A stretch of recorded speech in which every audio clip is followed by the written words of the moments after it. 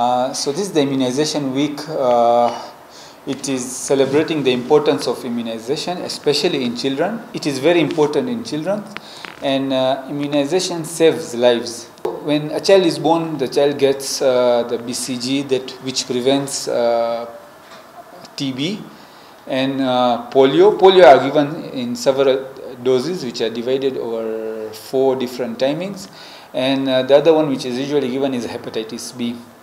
Uh, when a child is at six weeks, six weeks of age, 10 weeks of age and 14 weeks of age. There are several other vaccines which are given like hepatitis B, polio, rotavirus, pneumococcal. This saves lives. It, it immunizes against severe life-threatening diseases. Uh, when you come at 9 months and 18 months, there's the measles, mumps and rubella. And the other vaccines like meningococcal, hepatitis A, cholera, uh, chickenpox, which are good to give, but currently not in the uh, government uh, mandatory vaccines. Uh, so when you give a child vaccines, it develops immunity.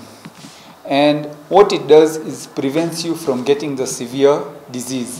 For example, let me take an example of rotavirus uh, vaccine.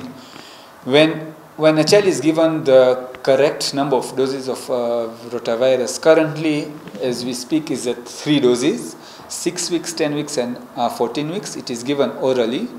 The chance of, of that particular child getting severe disease is at 5 to 10 percent. That means, yes, the child will get rotavirus related diarrhea, but the chance of getting severe rotavirus diarrhea and dehydration is at 5%. So you see, you are 90%, the chance of getting goes very low. Same goes with other vaccines. For example, the pneumococcal vaccine, which was introduced uh, approximately around 13 years ago, studies done after that vaccine showed dr drastic uh, reduction in admission due to pneumococcal, uh, pneumonia related to the pneumococcal bacteria.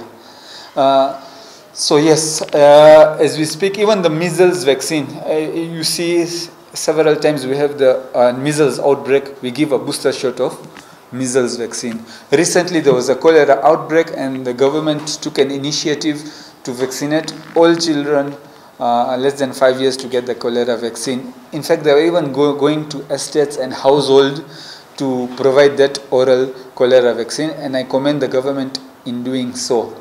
Uh, so I'll also take this opportunity to make sure that vaccines are almost always available. There was recently a shortage of the rotavirus vaccine and the uptake of vaccine really went down. Uh, so I'll also ask the government to make sure that the, the supply of these vaccines are, are always there. Uh, let me also take this opportunity of also talking about COVID vaccine. Uh, it's controversial, but children more than currently with the Kenyan guidelines, children more than 12 years uh, are eligible to get the COVID vaccine. The other vaccine, which is usually also forgotten, is the HPV, human papilloma virus vaccine, uh, of which uh, girls of uh, 9 to 10 years old uh, get it uh, at the age of 9 to 10 years and usually is repeated after 6 months. This is a very important vaccine and it prevents cervical cancer in future.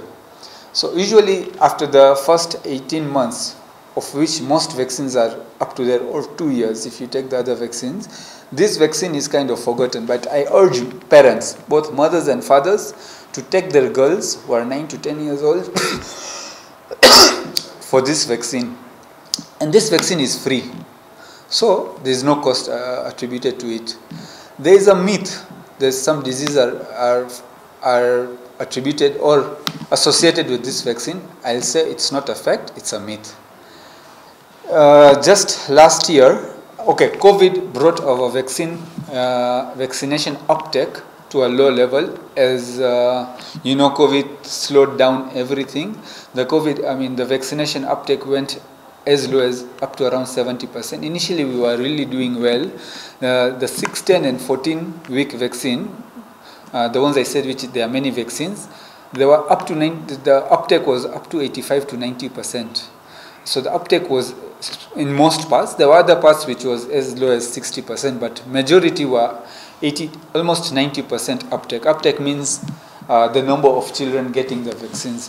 COVID slowed down things, but uh, with uh, with with after the COVID lockdown and COVID has kind of eased, mothers now are taking their children again for for vaccination. And I think uh, we'll wait for more data to see how things have improved after COVID. But generally, it has COVID brought down figures, but things are improving right now.